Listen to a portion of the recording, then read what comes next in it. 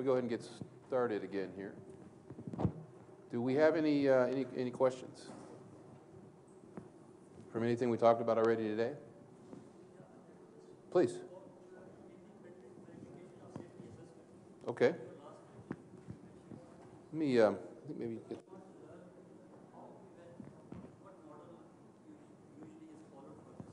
Okay. Um, I can answer the question at a very high level, and actually, I'll actually repeat the question, so it's fine. Um, the question was what model is used for independent verification of, of safety assessments? It's okay, I just repeat the question. Oh, that's, are, are you twisted? Oh, got it, okay, thanks, okay, all right, thanks. And then you turn it off by pressing it again, right? Okay, okay, oh, oh, off. Okay, I'm just gonna turn this off for now, but okay. Press it, it, keep it press and then go off. oh, there we go, off, okay, good, yeah. Um, the- the- the- the- I, I'm gonna kind of defer the answer a little bit to next week, because we have quite a bit of, on, uh, on, on verification and validation. I mean, is your question more, um, what kind of process to put in place, or is it more the how to actually do it, more on the process side? Okay, all right.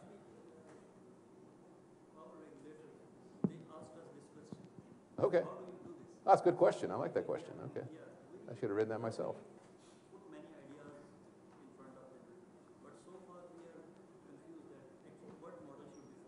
Okay, model for verification. Okay. Let me put this back over here.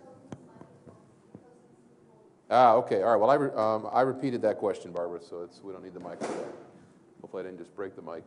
Um, look, I, I don't, um, I hate to kind of put this question, the answer in this perspective. I mean, there really is no one way to do it, I guess. And, and that's probably why you're having this discussion back and forth with your regulatory authority. But, I mean, i- if you think about process, uh, let me highlight a couple of things from experience that I'd recommend focusing on. Okay, one, again, is the interface between you and your vendors. Okay, and, and this is getting at not just, you're not talking about just verification of the codes, right? You're talking about verification of the model uh, itself, the computer model itself, right? Okay. And the reason I want to focus on the interface issues are there are many opportunities for mistakes you know, how the information flows from you to your fuel vendor, for example, and then back to you. You know, wh- wh- when, when they're designing a fuel product, for example, you know, your fuel over the years will change.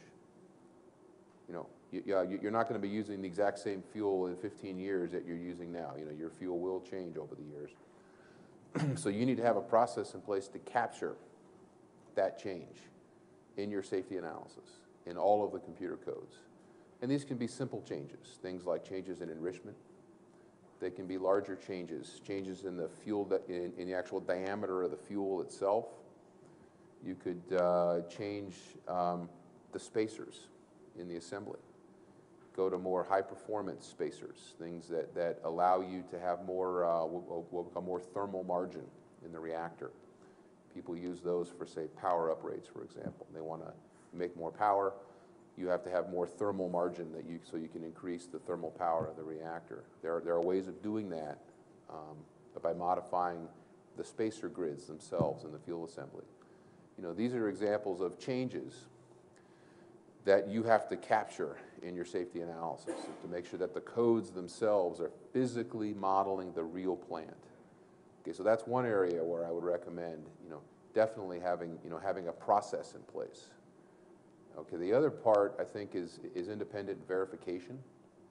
I, I, I'm, I'm not sure how your organization functions, whether you do your own actual calculations in-house or whether you have a contractor do them. I'm, okay, all right, well, that's a very typical process. My, uh, in terms of process, I would advise that you have a procedure in place to, um, upon acceptance of the product from your contractor, you have a process in place where you independently verify the results of the calculation and the input to the calculation, how the calculation was conducted. Now, there are several ways of doing that. Some organizations I know physically have their own suite of computer codes. They run an independent calculation. Some people don't have that. In some cases, people go through and they physically inspect the numbers to make sure the numbers are correct. Um, Sometimes you, I've seen people require um, a um, a contractor to run calculations against, say, a known set of results to compare, to make sure that you have confidence in what they're doing. Okay, there, so, you know, there, there are many different ways of approaching that. Uh, But that's another area. I would, I would advise having a process written down where you actually go through and you can, and you can demonstrate that you, as the operator, physically checked the input from the contractor. Now, you know, I've seen, in some cases, people physically write that into the contract to ensure that you, as the operator, get enough information to make that assessment. Again, I've seen situations where, well, where organizations say, well, I can't, you know, can't do that verification because my contractor, does- you know, doesn't give me the information that I need. Well, I would argue that, you know, you're the customer, write it into the contract, that they will supply you the information that you need or make it accessible to you. They don't need to physically give it to you. You can, you know, get on a plane and go to their office and do an audit of their information. But there should be a process in place to control that information. Um, You know, you need to think about, there, there, there should be a process in place for how you then go from the results of the safety analysis to how they're used in the plant. For example, you know, when you do a new calculation with a new fuel product, um, that could impact your technical specifications. Could change, you know, uh, like your DNBR ratio. It could change, um, you know, like the allowable insertion limits for your control rods, et cetera. Make sure that that information is properly translated into your operations department, so ops has the right numbers. So when the operators are physically controlling the plant, they're doing it within the boundaries of the safety analysis. This gets back to this sort of man-machine interface question. You should have a process in place to ensure that that's checked to make sure that it's correct. Because the calculation's worthless if the plant doesn't operate as assumed in the calculation. And, you know, the tech specs change. They're not, you know, if you look at technical specifications of power plants, I've seen, you know, technical specifications of power plants literally over the 40-year lifetime of a power plant. They've changed a lot. You know, not just in the numbers, sometimes new limits are established, you know, depending upon it. You know, if you change a fuel vendor, for example, you're going to get a whole new set of tech specs because vendors do things differently. And they're not going to change their ways for you. You're going to have to adapt to them. So these things, these things do happen. It's all about the process. So that's what I, so that's what comes into my mind about things to think about in terms of the oversight of the process. And this has nothing to do with the codes themselves. Okay, if you're talking about computer code verification, then you as the customer, I would advise that when, when your supplier uses a computer code, you should have access to their verification documentation for that code. so you can go and independently oversee what they did. You don't have to do it. Make sure that they have, you know, the verification manual, you know, the QA manual to make sure that they're using the code correctly and that it's been verified and validated. Again, it's, it's not a matter of, of it's, it's a matter of you as, as the customer and certainly you as the operating organization having the ultimate responsibility for safety. You know, it's incumbent upon you to oversee that activity. You know, you don't have to do it yourself, but you should definitely audit it. And this gets back to, you know, how you set up your relationships with your suppliers. You know, I would argue that there should be some, you know, some, that there, that there should be some agreement that gives you access to that information. You know, don't just take RELAP 5 as a black box. That's just the example I personally know. There are many, many codes out there, but RELAP 5, speaking from personal experience, has a lot of problems. okay? And it, that's not to say it's a bad code, but it's to say you have to know how it's being used is the key. And you're responsible for it, well, not you personally, but your organization is responsible for it. And so there has to be this relationship where you can access the information from the vendor, the contractor, and you can take a look at the verification and validation documentation and use your own independent judgment about whether it's adequate or not. So, yeah, another area. That's a good question, though. Thanks. Any other questions? Okay, yeah. Oh, hold on, let me get the mic, Uh, back up here. What did I do with it? Let me uh, bring it up here. Actually, Would you mind running this up there, Robert? Or Alice, yeah, thanks. You, uh, you walk faster than I do. What you are saying, uh, we have this kind of uh, procedure in Brazil now because we have a contractor from Argentina uh, industry, and now in my department we have the analysis of these documents, their documents.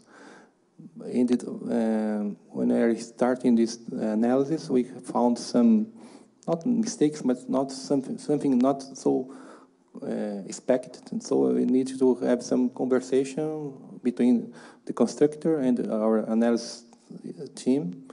And the other uh, consideration will be performed by the Brazilian Commission later.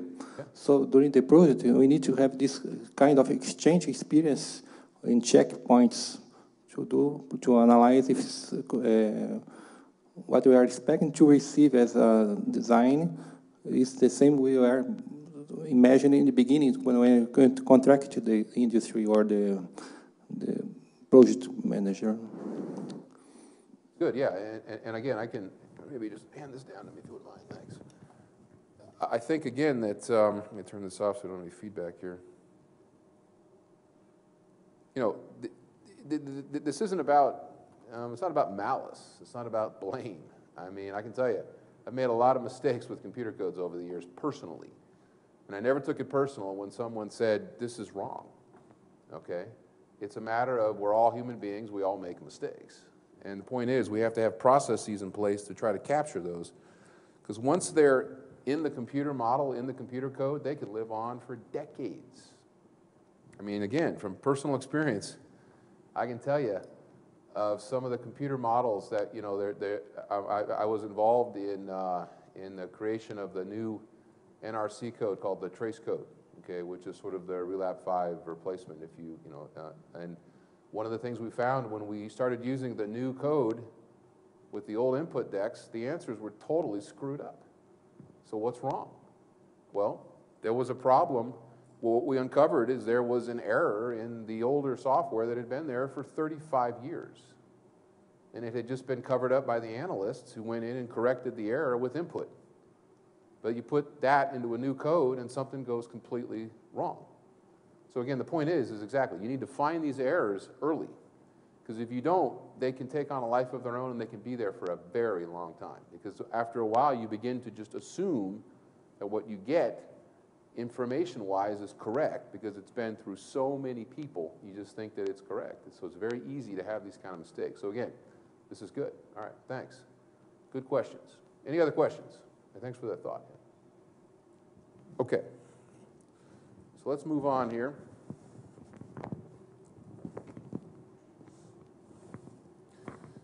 So now we're going to move into um, a- little bit deeper into what we call the fundamental safety concepts. Again, these are, uh, these are embodied in, mainly in SF1, which is the, which is the high-level IAEA document, but we're going to get into some other concepts here as well as we go throughout the rest of this presentation.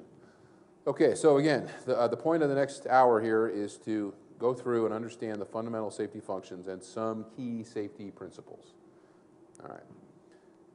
I want to point these documents out again, and you'll hear about these documents quite often throughout the next two weeks. Uh, let me just apologize up front here for the repetition, but I'm not, I'm, I'm, I'm uh, going to apologize to a point, because we do this for a very good reason. And that- is that these documents shouldn't, you know, these documents really truly embody, you know, decades of experience. You could almost argue decades of mistakes that then you don't have to make if you follow the doc, I mean, if you're able to implement these concepts in your power plants and your facilities. These are the representation of the best practices of the international community from many, many, many years of experience. Okay, so this is what I'm going to go through for the next hour. Let me move on. I've already talked about this again, but I want to emphasize this one more time. Again, we are all safety professionals, every one of us. First, I argue, that's my argument. Um, and our job is to protect people in the environment from the harmful effects of ionizing radiation. Okay. Fundamental safety functions. Does anybody know them? There's three. Ah, come on, you got to know these. Anyone know three of them? What's the first one? Activity, right. What's the second one?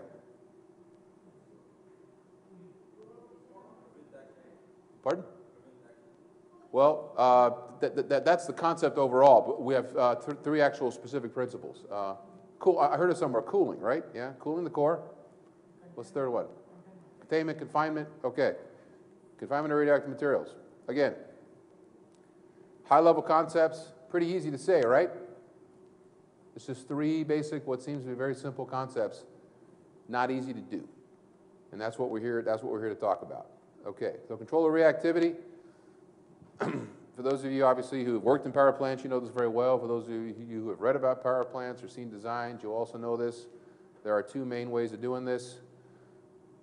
We use control rods or some sort of a soluble, soluble poison concentration, boron being the most typical, which we put into our reactors. Um, we talk about cooling the core. We have to think about not we, we, we have to think about many many things. We can't just stop with the reactor itself. You know, we have to think about how we're going to get the heat from the fuel, the actual physical fuel pellet itself, the really small little pellet, which is in each individual fuel rod, from there all the way out to the ultimate heat sink. We have to think about how we can do that reliably. As we learned from Fukushima Daiichi, we have to think about how we can do it under many conditions, including accident conditions. How can we maintain cooling of the fuel? All right, that is a fundamental safety function, and it's not a simple thing to do. It involves many potential components, many, many, many potential accident sequences that we have to think about. Okay. So, basic picture of your standard typical pressurized water reactor configuration and the main components. All right, confinement. Again, we also have unfortunately seen several examples in the past of a failure to confine radioactive material. So, it is, so, so it's incumbent upon us to think about how do we confine radioactive materials inside, ultimately, the containment. We take a defense in depth approach here. We don't just rely on one system. We have a containment system, which is sort of the, the, the ultimate system in place to confine radioactive material, but we also have the, we- have the primary coolant system itself. You know, it's, that includes, you know, the, the- the pipes and the pressurizer and the pipes and the steam generator tube sheets and all these parts, and we have to think about, and the reactor vessel itself. And then inside there, obviously, we have the fuel cladding, which I showed a picture of that earlier. So again, easy to say, not so easy to do. Okay, so this is a point here where we're lining up some of the material from the documentation with the basic principles, so I'm not going to read every one of these. This is really more for your reference in the future. But this just shows you that, you know, we have developed information, material to assist in demonstrating that we meet the fundamental safety principles, and this just kind of points to some of the concepts that are in, that are in the document.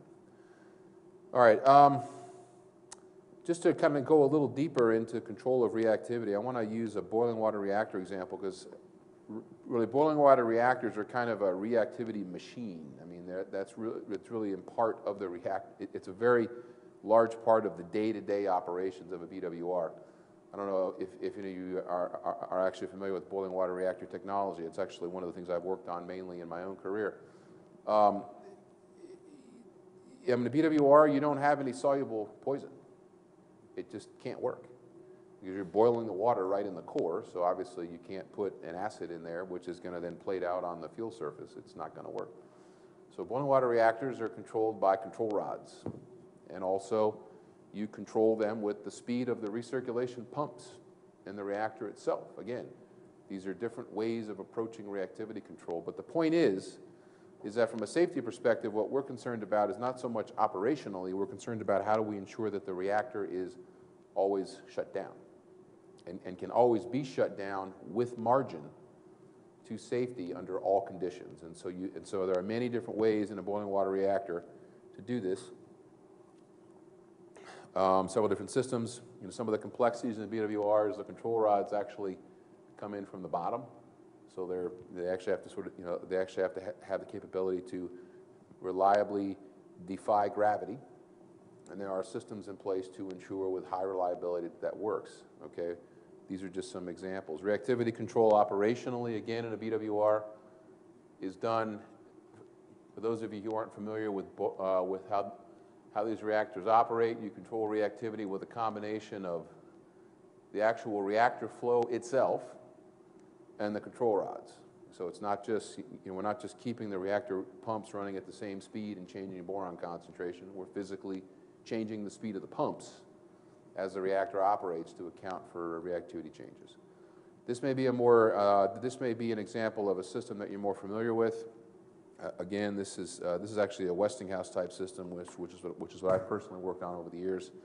The point here is to show that reactivity control is more than, than just you know, having, having enough control rods to ensure that we can shut down.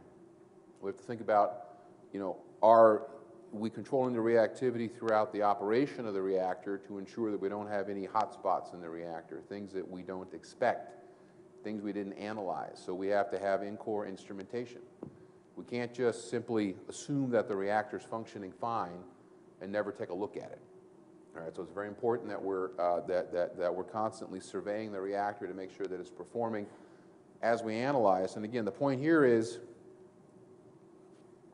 this goes back to the question we had earlier from our colleague from Pakistan about how do we transfer information from safety analysis to the real machine, the actual operational machine that the operators are looking at, you know, you know, um, every day in the control room. they need to have a series of instrumentation. In this reactor here, the instrumentation happens to come in from the bottom. there are many different ways of approaching this. Some designers put fixed instrumentation inside the core. Some have probes that move up and down in the reactor.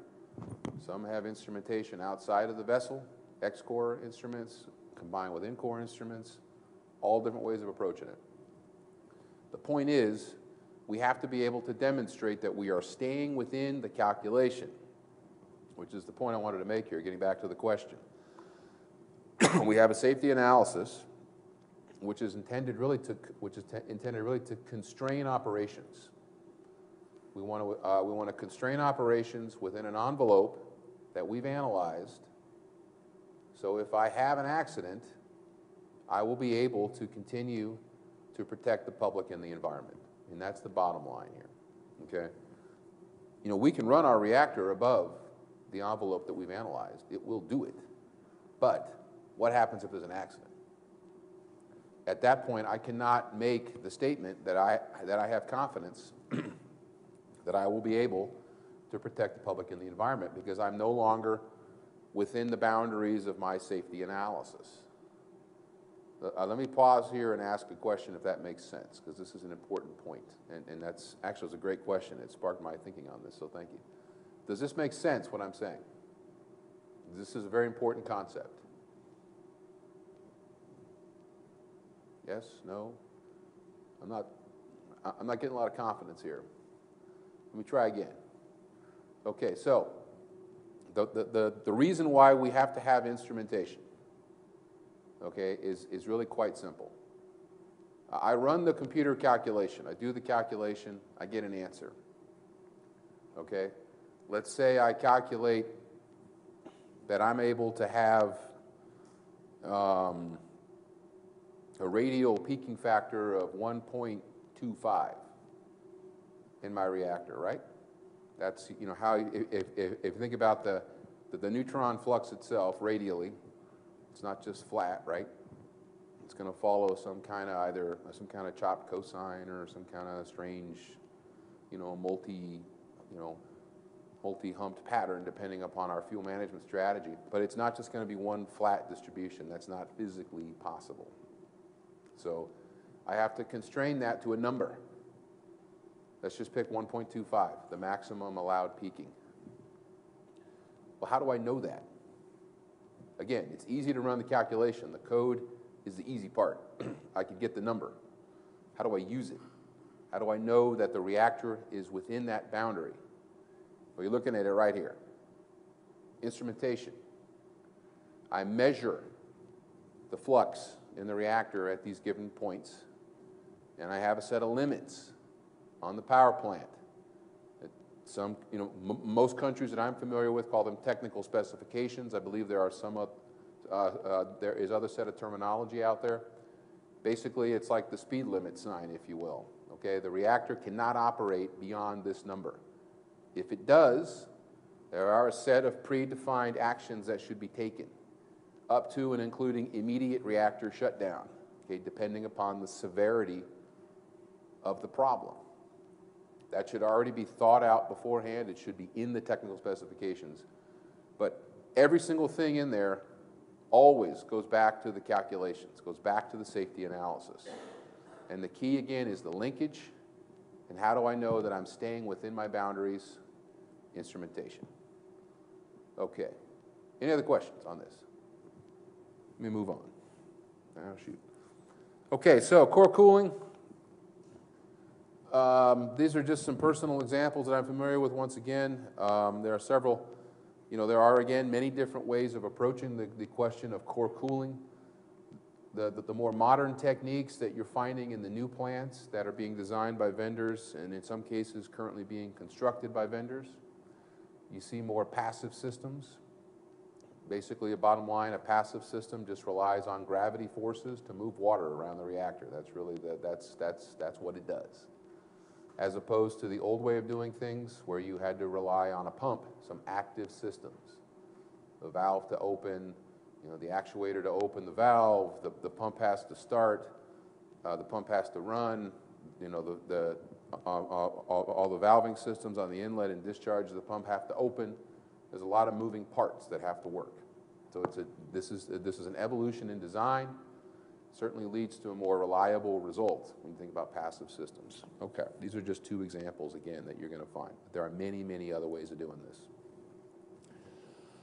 this. okay, confinement of radioactivity, again, um, I'm just going to bring in my own personal experience here. There are many, many different ways of doing this. This happens to be the AP 1000 approach. Um, we think about confinement of radioactive materials. We're trying to ultimately protect, in the end, this barrier right here, which is the, which is the containment dome itself. So we think about what we have to do in order to do that. We have to be able to remove energy from the containment. It can't just sit there forever. It will eventually overpressurize and fail.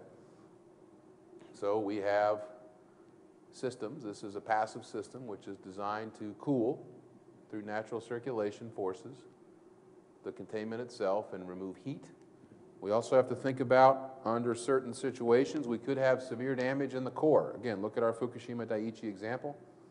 We're not, it, it's not known yet exactly the condition of all three of those reactors, but it's, the, the, the general consensus is all three of them suffered damage to the lower head, and the fuel is somewhere in the containment, on the base mat of the containment in some form. We don't know at this point what, but that's the general consensus. So more modern thinking on that is, well, let's just flood the containment under those, uh, under those circumstances. Now, this particular situation here is intended to try to protect the vessel integrity. This is a system called in-vessel retention. So we have water here, which is intended to transfer heat from the lower head into this water here, which ultimately comes up and will, uh, will, will, will ultimately make a heat transfer interaction with this surface and reject the heat to the environment. Other systems have other ways of doing it. This is a situation where I'm assuming, I'm just going to assume that the lower head fails. I'm, you know, making an assumption the lower head will fail. So I'm going to try to capture the molten corium in this sort of, in what's called a core spreading area. But I, but I also have to think about cooling. I, um, I can't just let the material sit there. I still have to remove the heat. So I have a system in place where I, where I have water inside the containment, and I'm providing cooling of the material, which is ultimately, again, rejected to the environment. Now, there are, there, there are other systems, I don't have a picture of this, uh, where, well, which is called a core catcher. It's a system under the vessel head itself. And it's intended for, you know, uh, um, if we assume that the, that, that the lower head fails, the material will fall into this core catcher. It has material in it which will retain the corium, plus it has mechanisms similar to what you see here to remove heat ultimately from the core catcher to the environment. Again, it's an evolution in thinking from the early reactor designs, the point being, we're trying to address the concerns with lower head failure and ultimately the loss of containment function by providing for more passive systems, be it any number of three different ways that I mentioned, and there may be other ways as well. I hate the prejudice and outcome. To think through the process of fuel in the lower head, either trying to keep it there or go ahead and let the head fail, but we'll, and, and, and, and get the heat out to the environment. And the evolution in thinking again also is let's rely more on passive systems, natural forces, um, which should make that process much, much more reliable. okay. Ah, yeah, okay. So this is a picture that, uh, I, I, I, don't know where Josef Mishak got this, but I, but I love this picture. Um, sort of picture of defense in depth. You can see our mailman who unfortunately encounters the mailbox being guarded by three progressively larger, very mean-looking dogs. The idea here again is, you know, we're not just going to have, we're not, we're not just, we're not, we're not just going to have one dog protecting our mailbox. We're going to have multiple dogs because we, we really don't want that piece of mail in our mailbox. In this case, we want to keep the radiation, uh, um, if we carry the analogy to the next level, with inside the mail pouch itself. okay, there's been many, many things written about defense in depth. Um, INSAG 10, to my knowledge, is really the first place where IAEA really made a definitive statement on defense in depth. This was a document written uh, by the INSAG group. It's INSAG 10. They wrote that uh, the hierarchical deployment of different levels of equipment and procedures, and we're talking about the maintenance of the effectiveness of physical barriers, okay? Well, when I read that, what I think is, I think cladding, vessel containment. I think, I think engineered systems in place to provide levels of defense in depth. Okay, that's what, uh, that, that's what I see there. Um, we have to think about margins. you know, again, it, this business is, is, is all, you know, has many different factors. One of them is we never just assume that something is, is going to perform exactly as is written down on the specification. We have to think about the uncertainty in those parameters, the uncertainty in how the operator is going to perform. You know, again, put yourself in the control room at Fukushima Daiichi on March that day, 2011. Know, how would we have performed? I don't know, but I can tell you that it was a high that, that was a high stress environment, and the, the, the question of human performance needs to be considered because we have to think about that possibility and we have to try to model it in our safety analysis.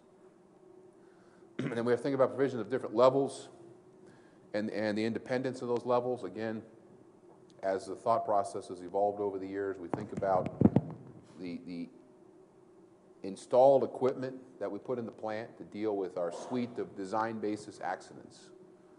You know, the, the one that's, again, most commonly used that I'm familiar with is the large break loss of coolant analysis. We design equipment specifically to address that accident. Okay, but it's not the only equipment in the plant. Okay, so then the question becomes, and some of the current thinking is, well, how do we put systems in place to deal with beyond design basis accidents? Okay, I'm not going to go into the details on that now, but it, it's just the evolution in the thought process. You know, should I, you know, and, and we think about independence, the safety standards argue that there should be independence in that set of equipment. now, that can mean that I physically install extra equipment to deal with the more severe accidents, for example. There are other ways of thinking about that, and you know, we'll have more on that later in the, uh, uh, in, in the workshop. But the point is, is we can't. It's it, the, the the argument in the safety standards is that it's is that it, you have to have independence between the levels of defense in depth. Is the main point. okay, I've already talked about this. This is the kind of I'll call it the traditional INSAG 10 model, if you will. we have our three barriers, starting with the fuel cladding itself, the vessel, and then ultimately the containment structure, so I'm not going to dwell on that. We've already talked about this, let me move past. Uh, You know, this level of defense in depth is, is, this is basically the INSAG 5 level of defense in depth, and I know there has been some, again, there's been some evolution in this, and I'm kind of deferring on this, because we have some experts who are going to come and be able to talk definitively about the current level of IAEA thinking on this that comes from our member states and the interaction that we've had through the, uh, working on the latest revision of SSR 2/1 with the introduction of design extension conditions and et cetera. So I'm going to go through this very quickly, so I want to defer the conversation to our experts, one who happens to be in the room here today, Marco, and I know next, at the end of the week, Javier uh, uh, will also be here to talk about this in more detail. So this is kind of more the traditional INSAG 10 approach is really my point that I want to make. And this is also more the traditional INSAG 10 approach. So I'm going to move past this as well. okay. So let's move into this idea of safety margins. Again, we, we don't. Uh, do, do we have any experimentalists in the room, people who've done testing in the lab or large facilities? Anybody done any testing work in your career? No? Okay, well, um, I've been involved in some testing over the years.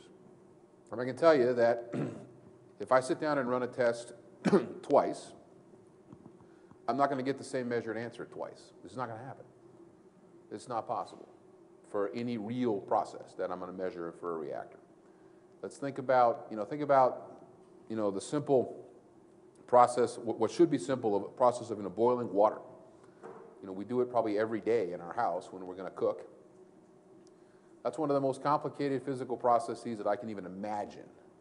The simple process of boiling water. And you think about applying that to a reactor system. That's an added level of complexity because I don't have to because because it's not just boiling water. There's also uh, there's also you know nuclear effects. There's structural effects. There's material effects.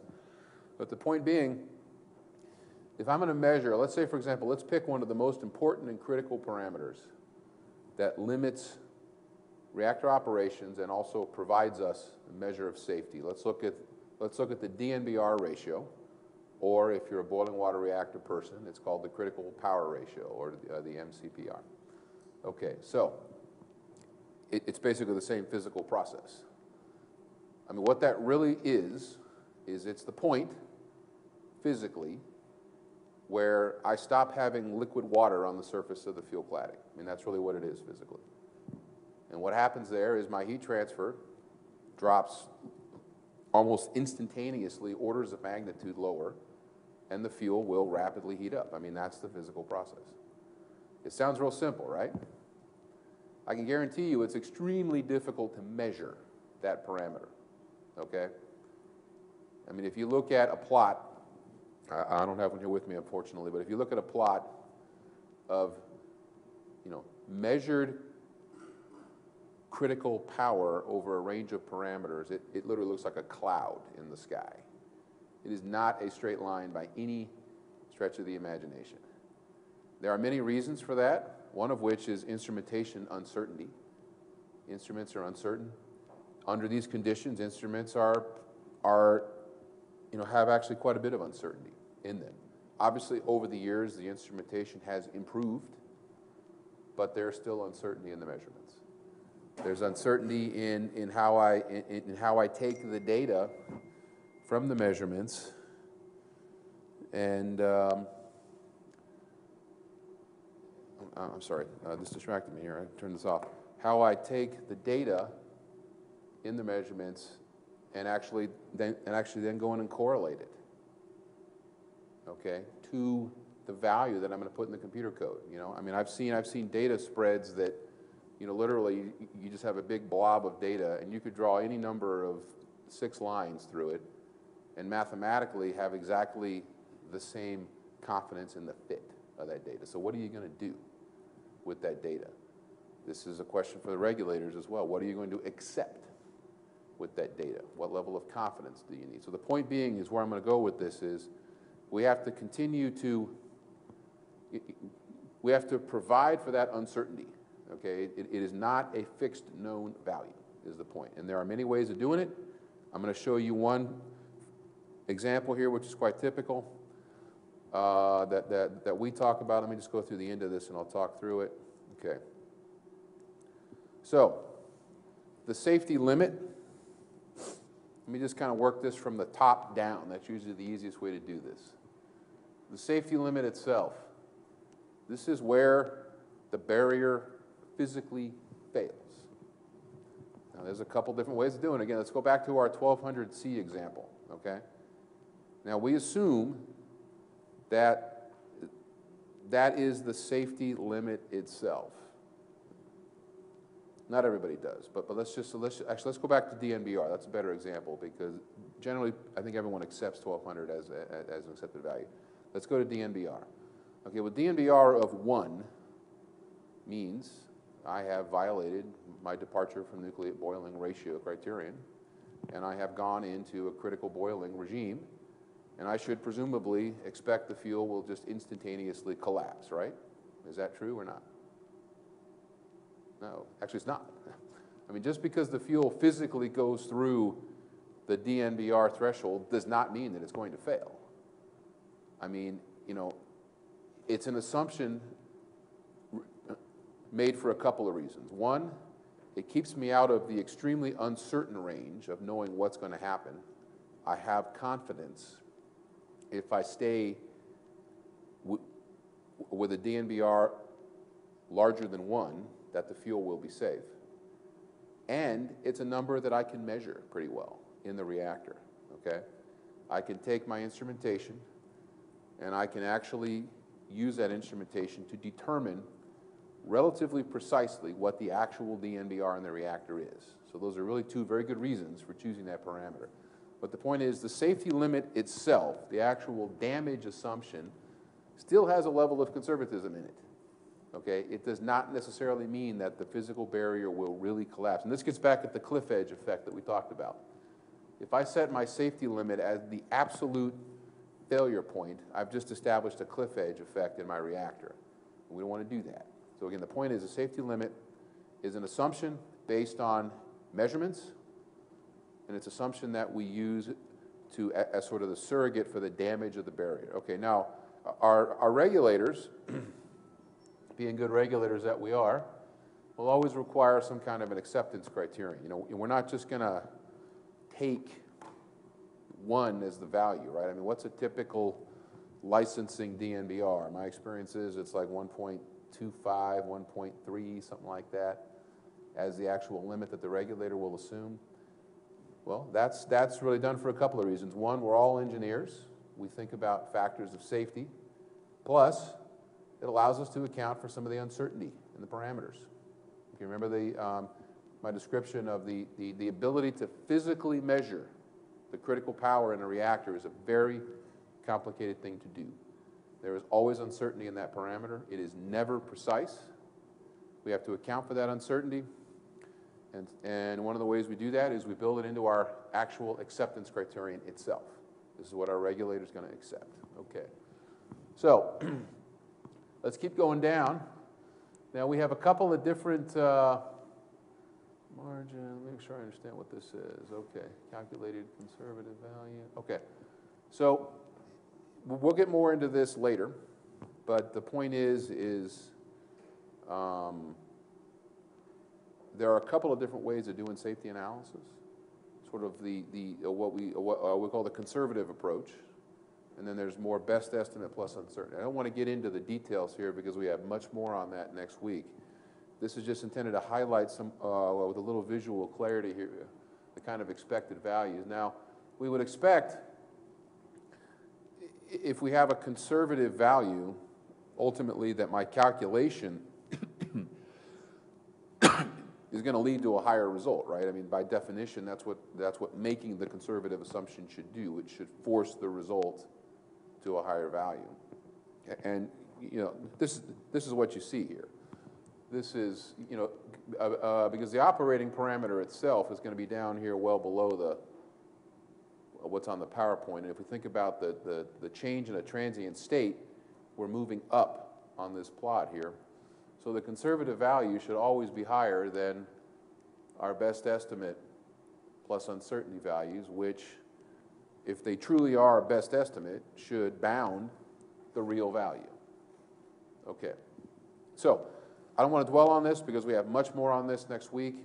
But the points I want to make on this really are, A, we think about a safety limit, not necessarily mean that it's a cliff edge effect, okay? We don't want to have cliff edge effects. The safety limit itself is based on, on, on uh, testing and measurement, and that information is used to derive the limit, but that does not necessarily mean, again, that, that, that is the ultimate failure point. And then the acceptance criterion itself, which is applied by the regulatory authority, is intended to encompass the uncertainty um, in some of the measurements. So, any questions? I know this was an awful lot of words, and I, and I promise there's more on this later, so this will make more sense. Yeah, please. Oh, hold on, hold on, I need the mic.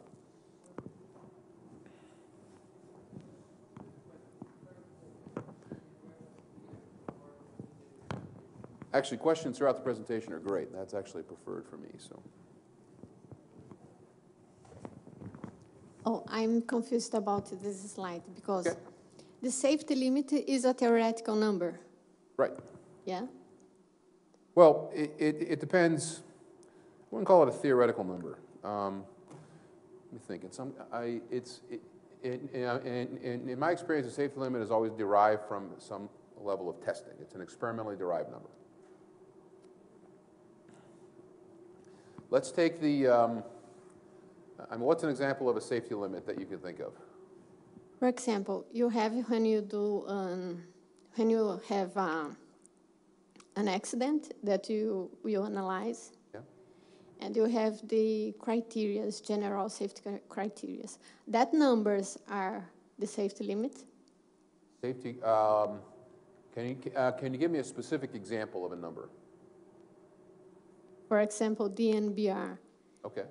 DNBR, when you analyze it by deterministic safety analysis one accident, you have, you have the initiating event, then you analyze it with RELAP, then you have some results. Yeah. These results are not the safety limit. Right, no, the results are these. These are the resulted numbers, depending on what approach you take. This is the actual result of calculation, if you will, what's in blue here. Okay, the blue lines are the calculated results. These lines up here are the results that are established by your regulator and by your testing, and these are the numbers that you want to make sure that you stay below. Does that make sense? Yeah, oh, You're sure? Not just saying yes? Okay, we right. discussed. Okay, so again, if I run RELAP five, and let's say I get a DNBR ratio of 1.36724, whatever, that's this number right here. Calculated conservative value is that number physically that I get from RELAP five, okay? Now, the point is, I want to make sure that that stays above 1.3, which is this number. This is a number that was established by my regulator, and it tells me, and uh, they tell me I cannot go below that. I need to stay below that. Well, I, I, I'm actually below or above, depending upon the parameter. Yeah. Yeah, exactly, right, yeah, yeah. I have to stay below the acceptance criteria. Yeah, this is the safety limit. And uh, there is another l- number there that I saw in, in another figure that's about allowable limit and uh, another one. Uh, allowable safety limits and a lot of numbers in instrumentation slides. Yeah, yeah, right, right, right, okay. All right, well, let me, let me, let me try to take it from a, from a calculational perspective, okay, again. Thank you. we, we uh, let me, uh, let me step back and try another, and try, uh, try another approach here. Um, hmm. Okay. Let's go take a look at, um, let's look at large break loss of coolant accident. Let's try that, okay? We establish safety limits for large break loss of coolant accident. Now, the safety limits are in place to ensure the integrity of the barriers ultimately and the ability to, you know, to protect the public and the environment for the large break loss of coolant accident.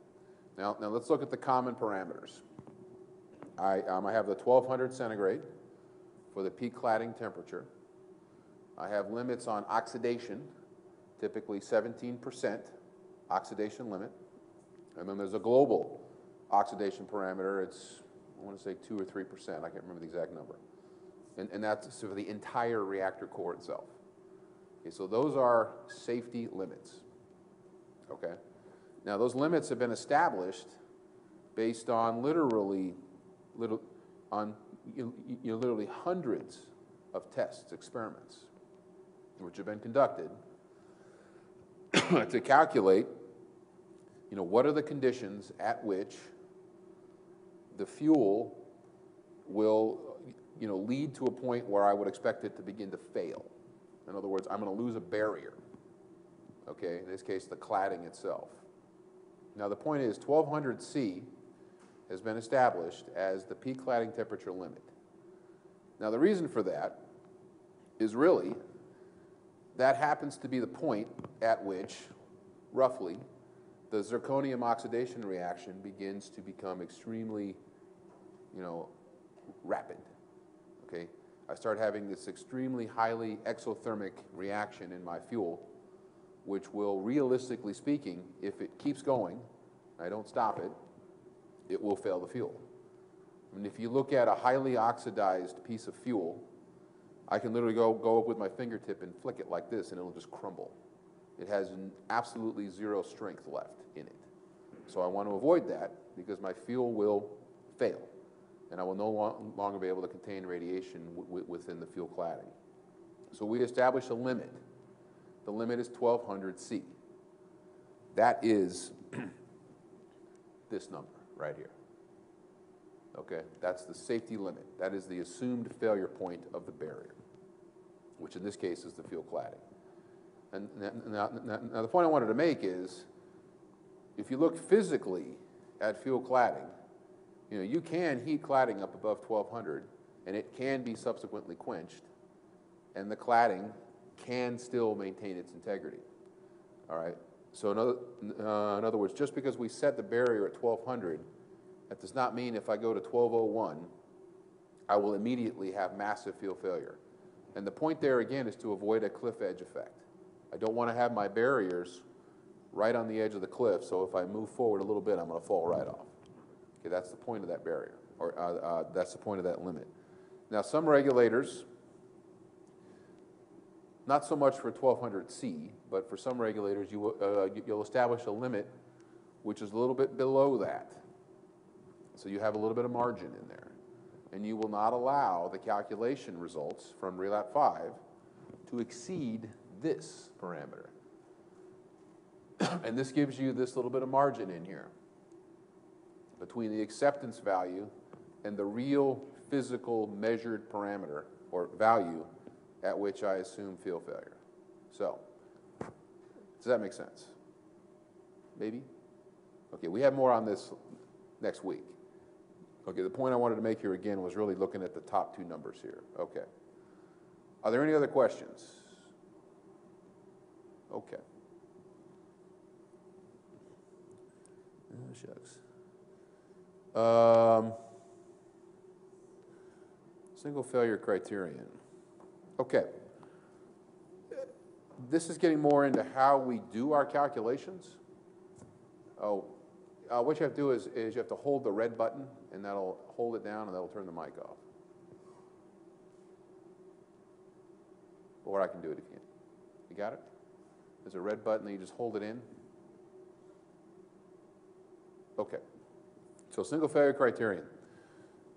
Um, I mean, what this really, you uh, this is a single failure criterion in words, but, but, let's talk about it by a physical example. Okay, we're all, you know, uh, let's think again about, again, once again, let me go back to my large break loss of coolant accident because it's really a very good example. I'm going to, you know, I have a physically capable system in my power plant, which consists of a diesel generator, series of high pressure pumps, large sources of water, valves, actuators, components, all, this, all these parts that allow me to inject enough water into the reactor to keep the fuel cooled if I assume that the largest pipe in the reactor just instantaneously breaks in half. I mean, that's what we, that's, that- that's the design point that we put into our power reactors.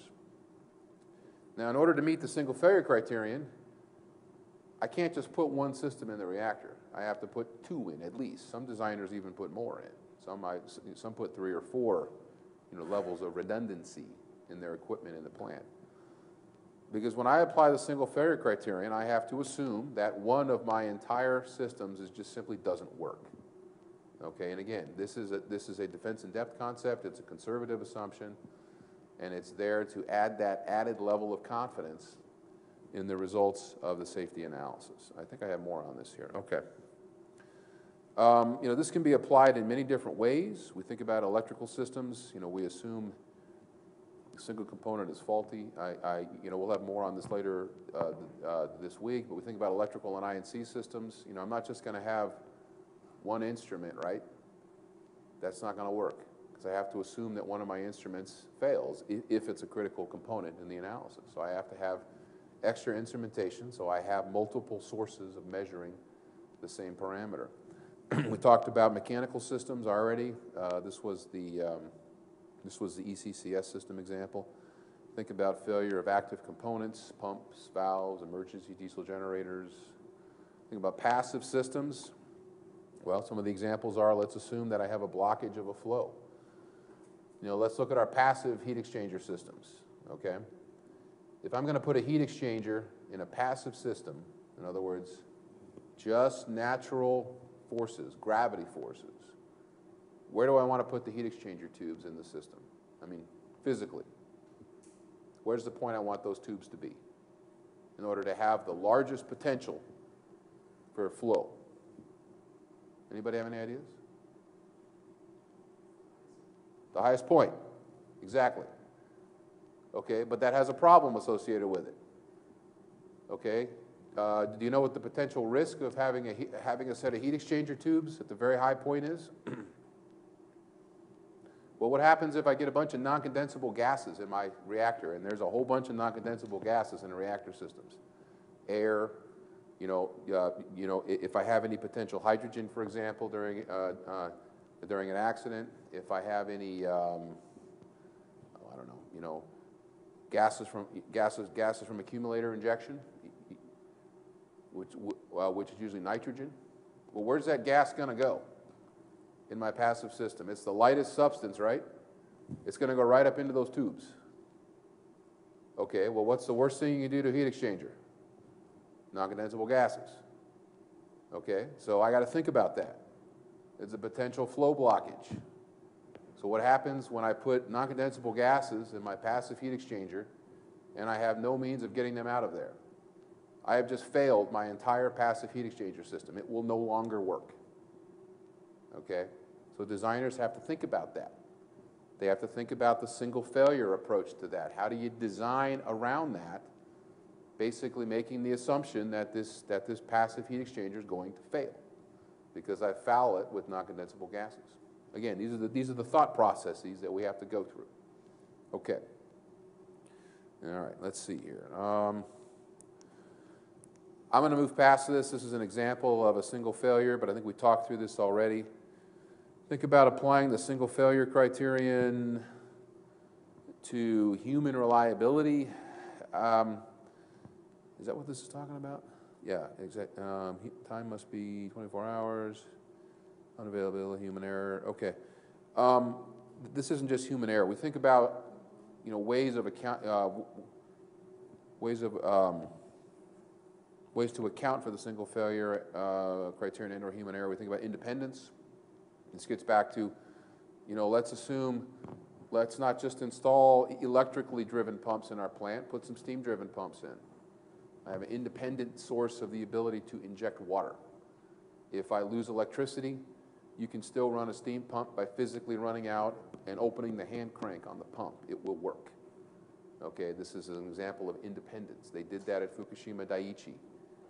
The reactor core isolation cooling system there worked for 72 hours in Unit 2 with zero electricity. It's a steam-driven system. It just kept running because they had the injection valve open and it just kept injecting water, doing its job for 72 hours.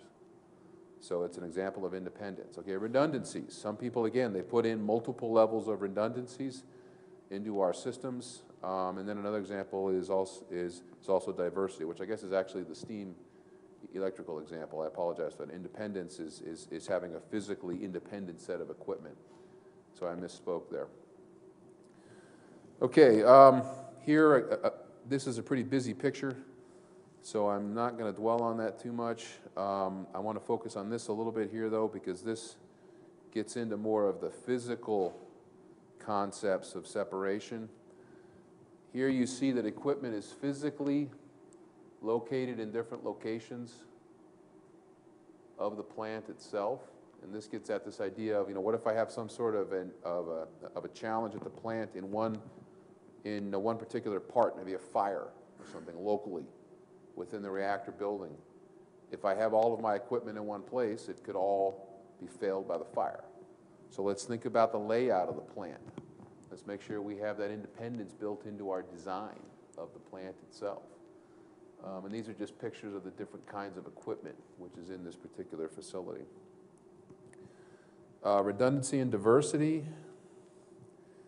of ECCS. Um, let me, I think, in the interest of time, I think I'm going to go through this here pretty quickly because we, because again, we, uh, we have much more on this later. Um, independence, again, this gets, uh, this is just a picture from the US ABWR of how they approach it in their reactor. Okay. So the application of the single failure criterion, how do we actually apply it? It's not as easy as you might think. We have to think about what is the worst possible failure. I mean, what could, you know, what has the worst impact? There's a couple ways of approaching it. The more traditional approach has been over the years, we just run a series of sensitivity calculations. And we use that as the base of information coupled with engineering judgment to make a decision about whether or not this particular failure is the worst one. Now we're beginning to use more PSA insights, bringing that into the picture.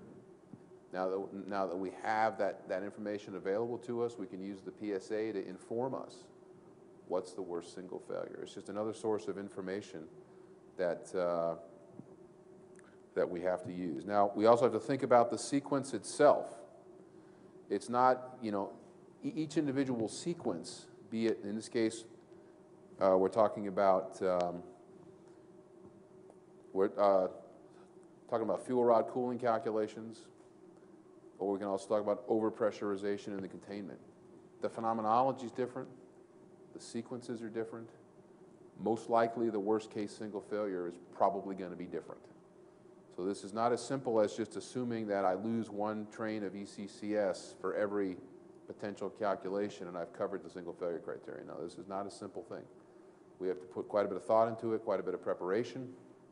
Again, going back to the earlier parts of this presentation, this material needs to be documented, written down, so it can be independently evaluated, independently audited.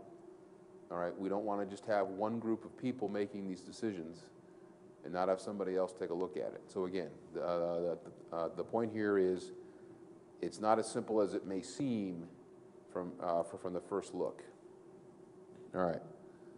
Safety system classifications. Um, that's what I want to say on this here.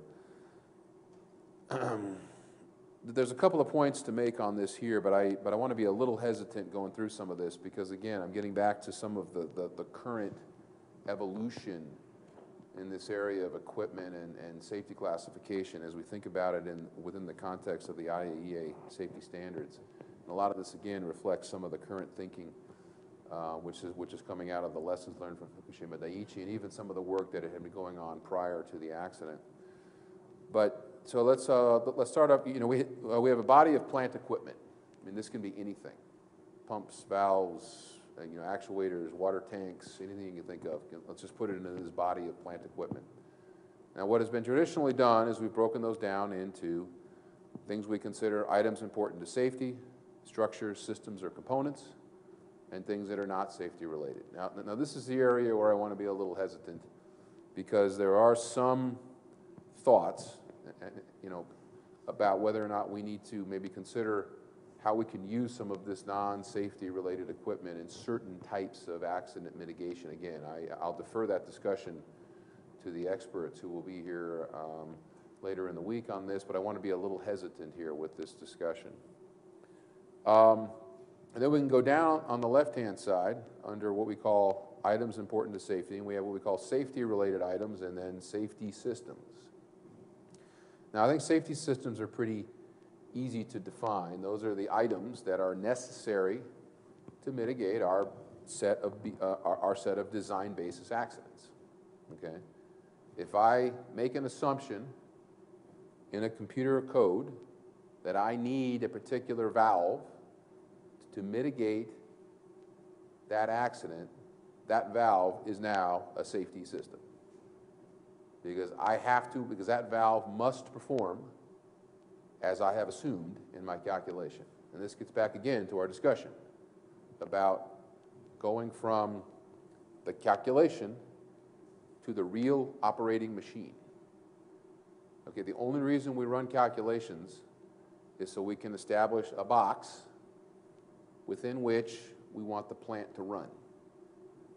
And that means for, you know, all of our components, for example, you know, the safety systems, they have to, they, they have to be demonstrated to perform as I assume. So that's really the distinction. Now, practically speaking, what that means is I have to establish a technical specification.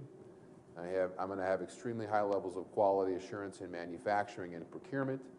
I'm going to have uh, need to do you know regular maintenance, regular surveillance, regular testing. That's what it means physically in the plant. And for our operators in the room, you'll, you'll, you'll know this better than I will. You know, you have to do constant testing. And then we have this, and then we have this category of systems we call safety-related items. Now, this is a little bit hard to define specifically. And then I, and I've heard various approaches over the years of doing this. But let's take, for example, look at um, look at the uh, uh, the high-pressure air system in our power plant. Is high-pressure air a safety system? Is it safety related? I mean, you know, the, the, the, there are various interpretations, which is why I'm asking the question. Uh, okay, well, let's take a look at, again, let's go back to the Fukushima Daiichi example, okay?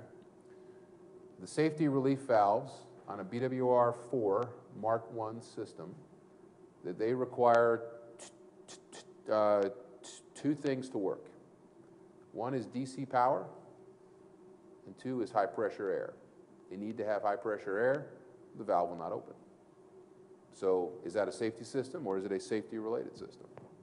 I can tell you that in the BWR4, high pressure air is a safety related system. It is not a safety system. But it is necessary for the safety system to function. I must have some source, some, some source of high pressure air, be it a local attached accumulator, be it the regular instrument air system in the plant, I have to have some means of physically opening that valve.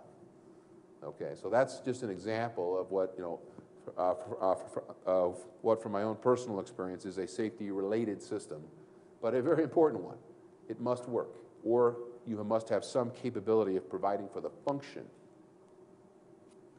or the valve will not work. Okay, so if we go back to the safety systems and we get down to the next level, then we're thinking about, you know, we have our protection systems, you know, reactor protection system, various sources of, you know, nuclear instrumentation, for example, is an example of reactor protection system necessary to actuate the safety systems automatically to shut the plant down if I exceed a technical specification. Very simple. Okay. Actuation systems are necessary for the protection systems to be able to physically actuate the systems themselves, and then I have a series of support systems. Again, some people would probably lump instrument air into a support system. Some would not. It, it's, it's, um, it's a question open to interpretation. These are just examples. Okay. Any questions on this? Yeah. Oh, actually, oh, uh, would you mind grabbing the mic there? I think it has to be turned on. Oh, it's on. Good. It, it, um, it's on. Go ahead. It's on. It's on. On? What is the difference between safety related items and support systems? Okay, that's a good question. And, and I, um, I cannot directly answer that question. That's a question that has to be, that has to be judged based on, on, the, on the individual requirements of a different member state. what the regulatory body in the member state requires. But the examples of the systems are, for example, high-pressure air is one that I know has gone either way. Certain countries require that, you know. A support system to the safety valve. I know, it's, a- exactly, you know, it is a support system, but it has a safety function. So some people, you know, so it's approached in different ways. For example, if I know that I have a functional requirement for high-pressure air on a safety system, maybe I'll require as a backup to have, to have a high-pressure accumulator. You know, an air source there that will be reliable, that will allow the valve to function if I lose instrument air. These are just examples. But uh, there is no one way to answer your question. The point is, it's a member state question that has to be worked out as the licensing process is evolving for a given facility. But that- but that's just an example. Yeah, um, I, I wish I could give you a direct answer, but, but there really is no direct answer. It's really more of a member state function. Go ahead, yeah.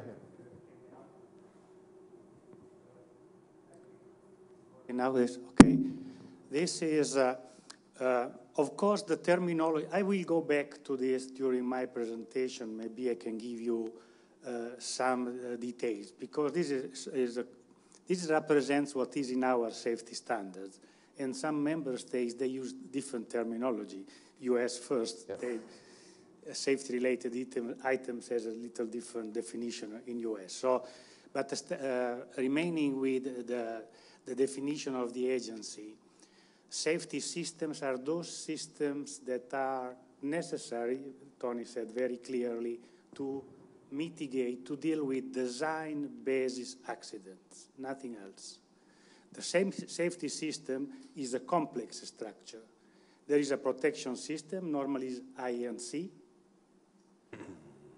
actuation system like control rod or whatever, valve, whatever, and support system like compressed air, cooling of the oil, cooling of the components. And also this part, in the terminology of the agency, are, are uh, safety systems, are part of the safety systems. When we say safety related, is a component or a system that, if it fails, can have an effect on safety, but is not for design basis accident. Example, the control system.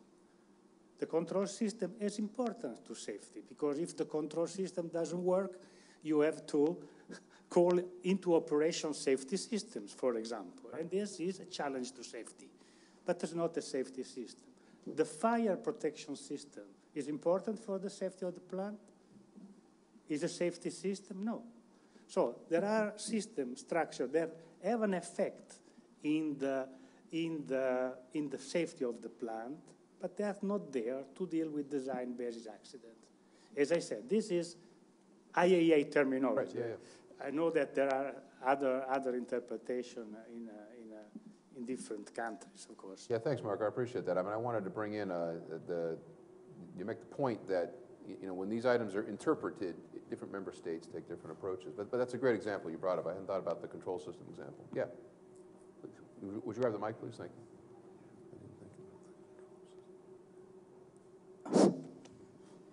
So, uh, according to uh, Marco's explanation, uh, safety-related system is not a safety system, right?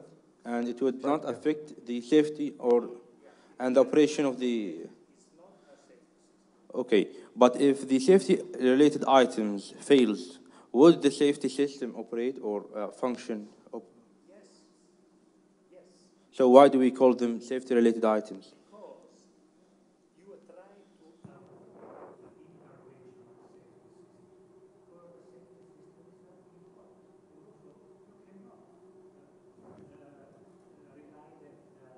on the fact that the safety system never fails. So the, uh, advocating the intervention of safety system is not any challenge to, to safety. You try to, to, to use the safety system. Yeah, yeah, I think a good example might be, let's go back to this high-pressure air question, you know? I mean, you know, high-pressure air is essential for certain valves to function, but if high-pressure air fails, it's not a safety system traditionally, if, um, if we use my personal experience here, because I have, for valves that are safety systems, I have another source of highly reliable high-pressure air that will be there to allow the valve to perform its safety function if I need to.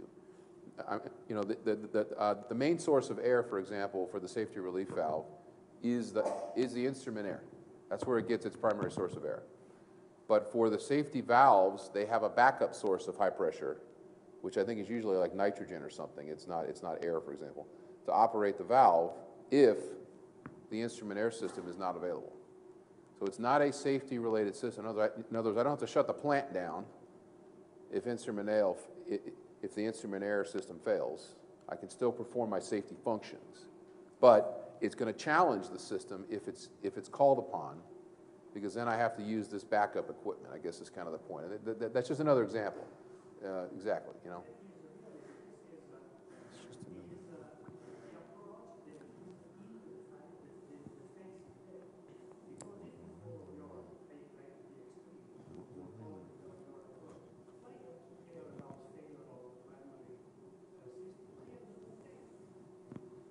Yeah.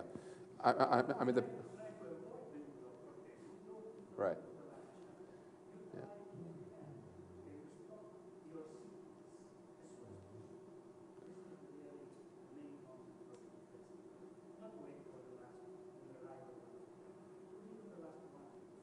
Yeah. Y- y- You know, these concepts have, have extremely practical reasons.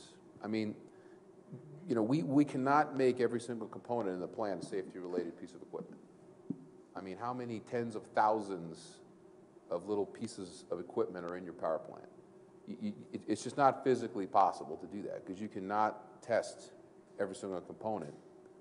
You just don't have the resources to do it. So we have to build a body of safety systems that we will continually test, evaluate, to ensure that they are highly reliable and that we can, and that we can rely on them to perform their safety function.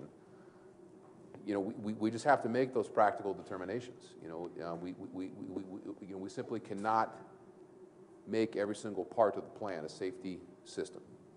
And I mean, that's just, uh, that's just another practical example, but of, uh, of why this classification is done, yeah. Okay, thanks. Excellent questions. All right, well, I'll tell you what, actually, that's the end of the presentation. So, um, not bad. We're a little bit early, but that's okay. So, do we have any other questions? Anything that we want to go back over here? Because again, we, the, the whole point of this morning was to just introduce some concepts. We will go into every one of these items in more detail later. And the areas where I was a little cautious is really uh, because I want to give you the opportunity of having the benefit of the real experts speaking about these issues, because we have been doing quite a bit of work in the agency, working on updating our safety standards to reflect some new thinking. And we have the experts here this week who will be able to share, you know, what is the current thinking, what are the current practices in these areas. So that's why I was a little hesitant to get into some of these details right now. Um, Again, oh, question, yeah. please. Um, Do we have the mic somewhere? Can can you pass it up there, please? Thank you.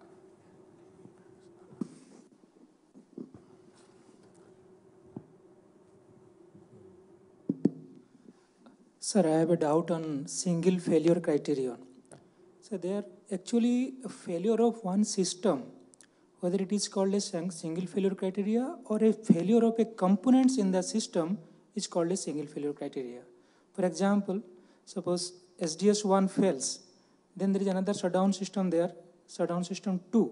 So whether we'll call it a single failure or a failure in some, uh, some rods in the, uh, in the SDS1 will call be single failure. Okay.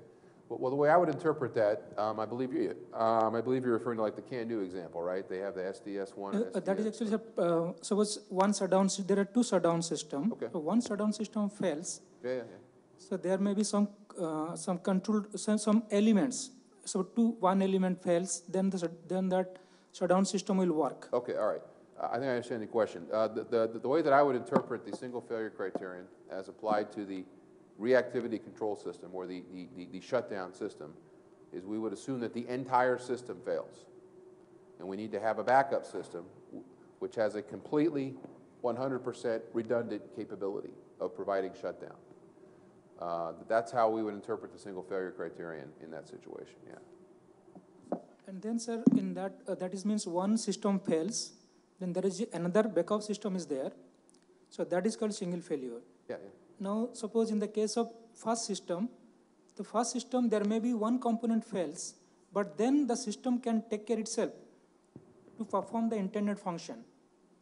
What is an, uh, the, the, the, the, uh, the which system, PA, uh, Uh, that suppose one, one system, uh, like one protection system, if you take, in protection system there are so many uh, rods are there, in uh, mechanical rods. okay, So if, if also uh, some rods fails, then that the protection system can function. Okay.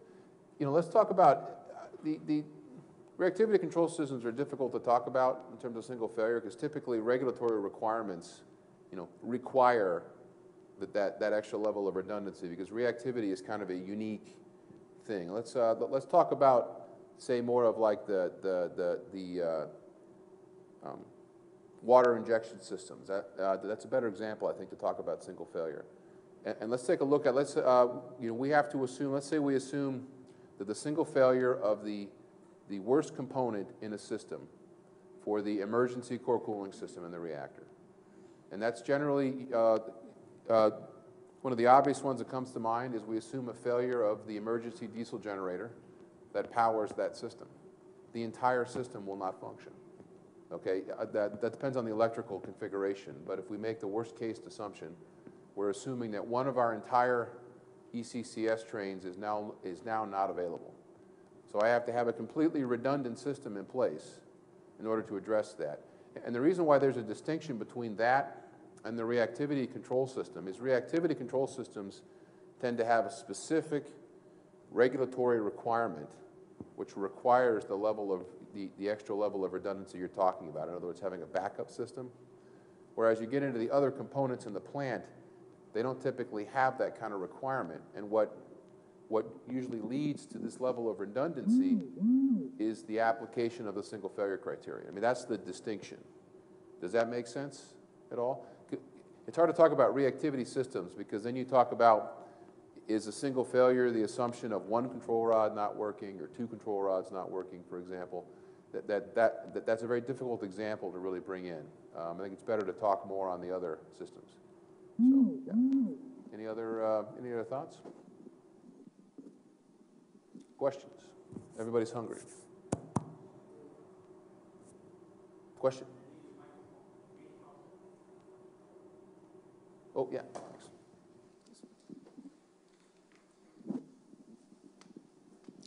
My question is that the single failure criteria, it is applicable to all plants uh, in the world, or there is uh, also any other, uh, for example, two system failure criteria in any plant?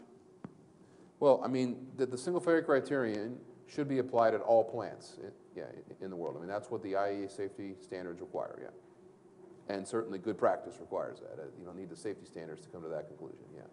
That's what the safety standards would require. Now, the implementation of it is, is certainly, you know, is, is where the discussions come in, and that's obviously the member state responsibility to implement the single failure criterion, using their own experience, using the safety guides to the extent possible to come to a consensus within the member state on how to apply the single failure criterion. Yeah, but, but it, but, but, uh, but, but, uh, but it is certainly an absolute requirement. Yeah. Questions? No, yep, up there.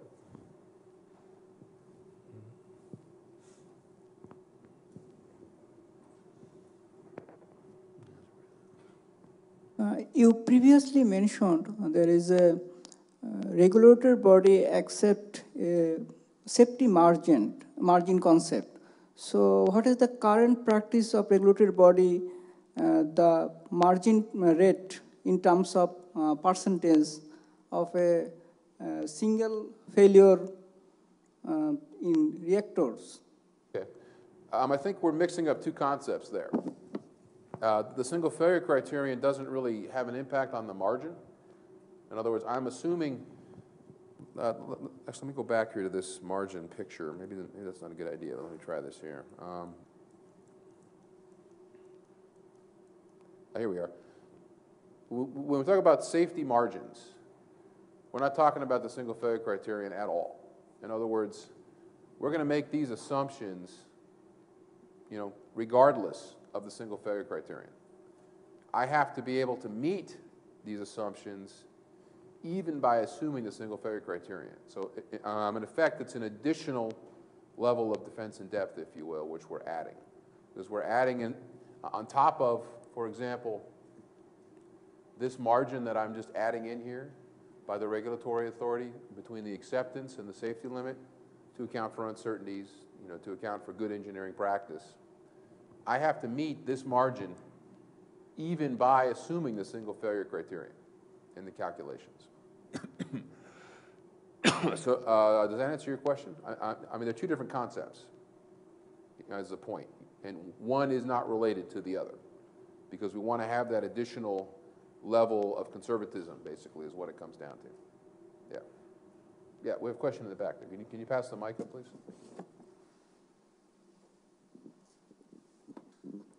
I just wonder if you have a presentation about how uh, IAEA classify the systems and components. We do, Uh, yeah. Yeah, safety class one, two, and three. Is? I don't think it's going to go into, the- I, I, I don't know what level of detail you're planning on going into, Marco, but I know you have a presentation on it. Yeah, Yes. yeah. Okay, thank you. Tomorrow, yeah, yeah, definitely. Again, we wanted to introduce concepts this morning, and we'll let the real expert uh, talk about it tomorrow, so, okay. Question, yeah.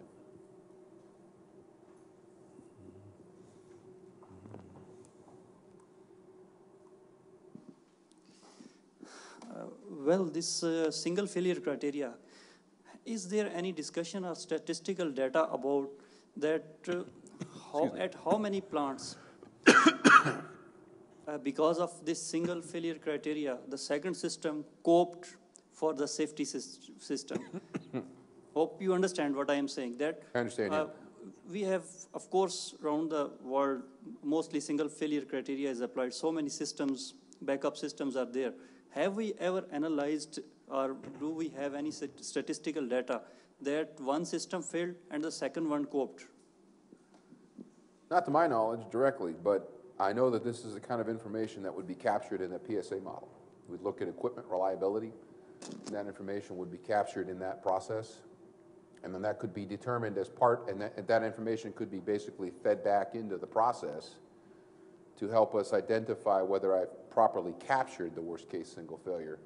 Because equipment reliability, for example, you know, you know, might impact my thinking. I- I- I- You know, it, it, you know, may or may not, but this is the kind of information I would expect to see in a PSA, for example, yeah. But I, you know, I don't have, I, I don't have any specific knowledge of any statistics looking at that exact question, though. Yeah. Any other questions? Okay, so with that, I think we're, we're done with, actually, right on time. Uh, we're ready for lunch break until, we'll come back at, uh, two PM, back to this room, right, Barbara? Yeah, two PM here, and, uh, the cafeteria is?